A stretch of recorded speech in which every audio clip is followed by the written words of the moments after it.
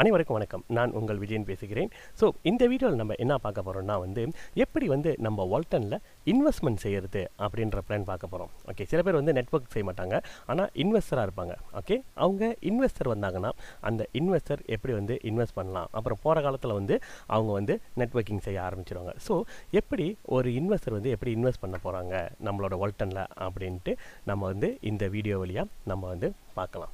So இதெல்லாம் நம்ம இந்த இன்வெஸ்ட்மெண்ட் பிளான் வந்து யார்கிட்ட பேசலாம்னா சில பேர் வந்து மளிகை கடை வச்சுருப்பாங்க சில பேர் வந்து பியூட்டி பார்லர் வச்சுருப்பாங்க சில பேர் வந்து ரெஸ்டாரண்ட் வச்சுருப்பாங்க. ஸோ இந்தமாரி கடை வச்சுருக்கிறவங்க கிட்டலாம் வந்து நம்ம வந்து இந்த இன்வெஸ்ட்மெண்ட் பிளானை பற்றி நம்ம வந்து பேசலாம். ஸோ இந்த பிளானுக்குள்ளே போகிறது முன்னுக்கு நான் உங்ககிட்டலாம் ஒரு கேள்வி கேட்குறேன்.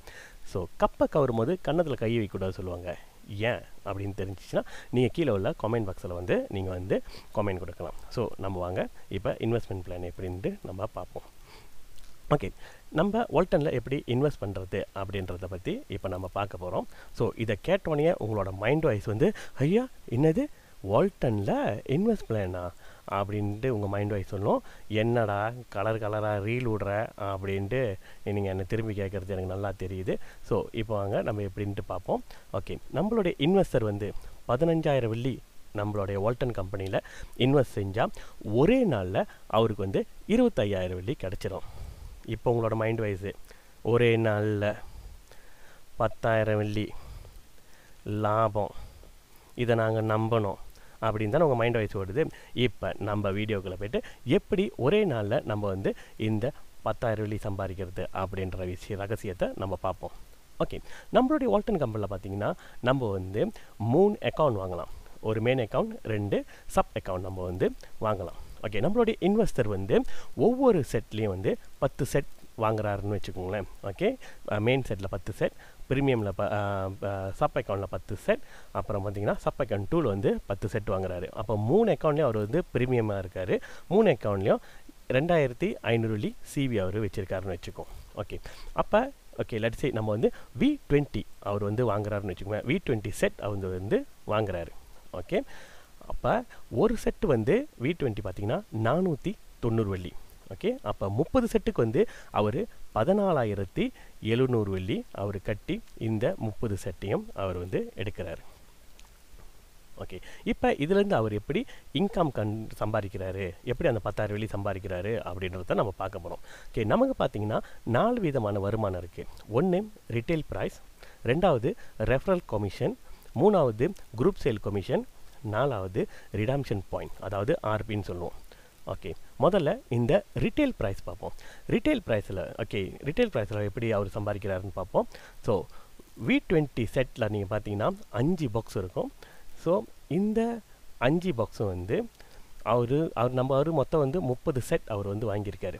முப்பது செட்டுக்கு வந்து அஞ்சு பாக்ஸ் வந்து டைம்ஸ் பண்ணால் அவருக்கு வந்து நூற்றி ஐம்பது பாக்ஸ் வி டுவெண்ட்டி அவர்கிட்ட இப்போ இருக்கும்.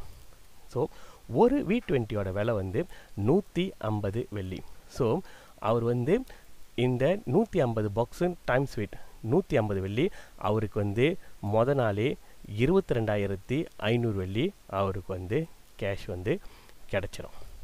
ஓகே ரெண்டாவது ரெஃபரல் கமிஷன் ஓகே இந்த ரெஃபரல் கமிஷன் நம்ம பார்த்தோம்னா ஓகே அவருக்கு வந்து ரெண்டு சப் அக்கௌண்ட் இருக்கிறதுனால ஓகே ஒரு சப் அக்கௌண்ட்லேருந்து இரநூத்தம்பது சிவி இருந்துச்சுன்னா அவருக்கு வந்து நூறு வெள்ளி அவருக்கு டேரெக்டாக போயிட்டு சேரும். ஸோ இப்போ பார்த்தீங்கன்னா அவருக்கு வந்து லெஃப்ட்டில் ரெண்டாயிரத்தி ஐநூறு சிவி ரைட்டில் ரெண்டாயிரத்தி ஐநூறு சிவி இருக்கிறதுனால அவருக்கு மொத்தம் ஐயாயிரம் சிவி இருக்குது ஐயாயிரம் சிவிக்கு அவருக்கு வந்து ரெண்டாயிரம் வெள்ளி ரெஃபரல் கமிஷன்லேருந்து அவருக்கு போயிட்டு சேரும். ஓகே மூணாவது மூணாவது பார்த்தீங்கன்னா group sell commission group sell commission பார்த்தீங்கன்னா ஓகே குரூப் செல் கமிஷனில் வந்து லெஃப்ட்டில் இரநூத்தி ஐம்பது சிவியும் ரைட்டில் இரநூத்தம்பது சிவி இருந்துச்சுன்னா நம்ம இன்வெஸ்டருக்கு இருபத்தஞ்சி வெள்ளி போய் சேரும். ஆனால் இங்கே பார்த்தோம்னா லெஃப்ட்டில் அவருக்கு வந்து ரெண்டாயிரத்தி ஐநூறு சிவியும் ரைட்டில் அவருக்கு ரெண்டாயிரத்தி ஐநூறு சிவியும் இருக்கிறதுனால இப்போ நம்ம இன்வெஸ்டருக்கு உடனடியாக அவருக்கு வந்து இரநூத்தம்பது வெள்ளி அவரோட அக்கௌண்ட்டில் பூந்துடும் ஓகே நாலாவது கொமிஷன் நாலாவது கொமிஷன் ரிடாம்ஷன் பாயிண்ட் ஆர்பின்னு சொல்லுவாங்க. ஓகே. அவருக்கு வந்து லெஃப்ட்டில் ரெண்டாயிரத்தி ஐநூறு சிவியும் ரைட்டில் ரெண்டாயிரத்தி ஐநூறு சிவியும் இருக்கிறதுனால அவருக்கு வந்து ஒரு ஷேர் கிடைக்கும். ஒரு ஷேருக்கு வந்து இரண்டு ஆர்பி சமம். ஓகே. ஒரு ஆர்பியோட மதிப்பு வந்து நூறு வெள்ளி. அப்போ ரெண்டு ஆர்பியோட மதிப்பு இரநூறு வெள்ளி. ஓகே இப்போ நம்ம டோட்டலாக அவருக்கு நம்மளோட இன்வெஸ்டருக்கு எவ்வளோ காசு கிடைக்குதுன்னு பார்ப்போம். ஓகே ரிட்டைல் ப்ரைஸ்லேருந்து அவருக்கு வந்து இருபத்தி ரெண்டாயிரத்தி ஐநூறு வெள்ளி கிடைக்குது. அவருக்கு ரெஃபரல் கமிஷன்லேருந்து அவருக்கு ரெண்டாயிரம் வெள்ளி கிடைக்குது. குரூப் சேல் கமிஷன்லேருந்து அவருக்கு இரநூத்தம்பது வெள்ளி கிடைக்குது. ரிடாம்ஷன் பாயிண்ட்லேருந்து அவருக்கு வந்து இரநூறு வெள்ளி கிடைக்குது. ஸோ மொத்தம் அவருக்கு வந்து இருபத்தி நாலாயிரத்தி தொள்ளாயிரத்தி ஐம்பது வெள்ளி கிடைக்குது. ஸோ இன்வெஸ்டர் வந்து அவர் வந்து எவ்வளோ இன்வெஸ்ட் பண்ணியிருக்காருன்னா பதினாலாயிரத்தி எழுநூறு வெள்ளி அவர் வந்து இன்வெஸ்ட் பண்ணியிருக்காரு. ஆனால் அவருக்கு கிடைச்சது இருபத்தி நாலாயிரத்தி தொள்ளாயிரத்தி ஐம்பது வெள்ளி. ஸோ அவரோட நெட் ப்ராஃபிட் பார்த்தீங்கன்னா இப்போ பத்தாயிரத்தி இரநூத்தி ஐம்பது வெள்ளி. இப்போ அவருக்கு பாக்கெட்டில் எக்ஸ்ட்ரா மணியாக இருக்குது ஸோ முத நாள் அவர்கிட்ட வந்து பதினாலாயிரத்தி இரநூறு வழியாக இருந்துச்சு.